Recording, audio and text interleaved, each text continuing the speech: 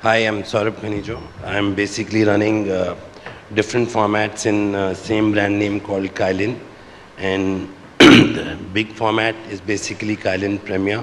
And we've got into small formats like Kylin Express and Kylin Experiences, which are small, uh, you know, uh, 60 to 70 seaters.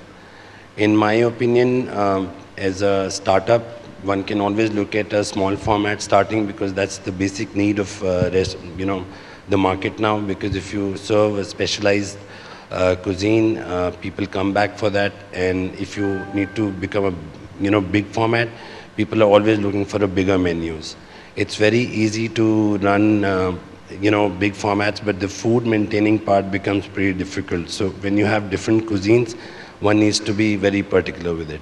Small format basically is, uh, you know, specialized cuisine, gourmet cuisine. So as Mr. Narayan right, rightly said, the consistency of uh, service, food, taste, everything has to be there. Uh, Saurabh, just to take your point on your Kylin Express versus Kylin, your bigger one, uh, how do you, who's your consumers there and do they differentiate? Do they different, how do you see to it that you're maintaining consistency of brand and at the same time, what are your thoughts on that and how do you do that? So basically this is different target clientele. I mean Express is basically tucked into food courts, high footfall areas and in our uh, we've always tried to upgrade our uh, client in the sense like rather than just serving Chinese or Thai, which everybody is serving, our niche has always been that we try and introduce something new to the customer.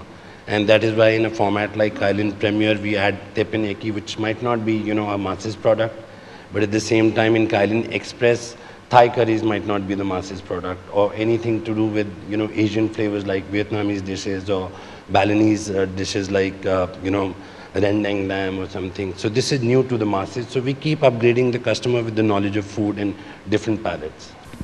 So, I mean, the only route to that is basically, you know, standardizing your recipes. And uh, there should be very strong audit systems to make sure that the, you know, recipes are being followed and you're, you know, putting right systems in place where, uh, you know, uh, recipes are not being altered at all. And of course, apart from setting up these standards and standard recipes and audit systems, uh, there is a skill which has to be trained continuously in your back kitchens and in your centralized kitchens, which also plays a very major role in keeping the food consistent. That doesn't mean that your chef is indispensable or something. Um, it's always good to retain the same guy because, you know, end of the day, the same hand prepares the same food. Having said that, the new change which are coming in basically work on standard recipes and they normally work the way that, you know, okay, this is the system, uh, this is how the food comes, but primarily recipes and standardizing. Great.